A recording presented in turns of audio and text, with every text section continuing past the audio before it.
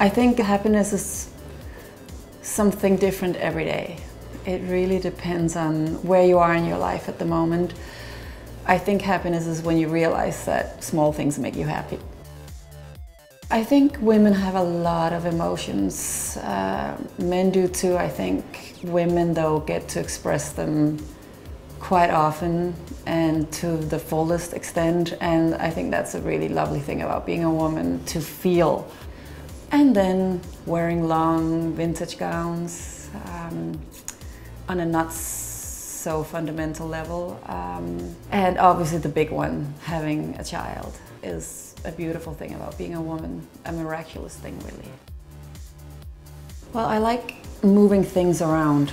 It gives me intense pleasure to move things around at home for some strange reason. I like being by a beach um, if I have time off and uh, really try to catch up on books. I mean, that's one of my things where I'm like, oh, you've got to read at least, you know, one book a week, which if it's a great book, you can. And then uh, hang out with my family, friends, the same thing everybody else, else do, yeah.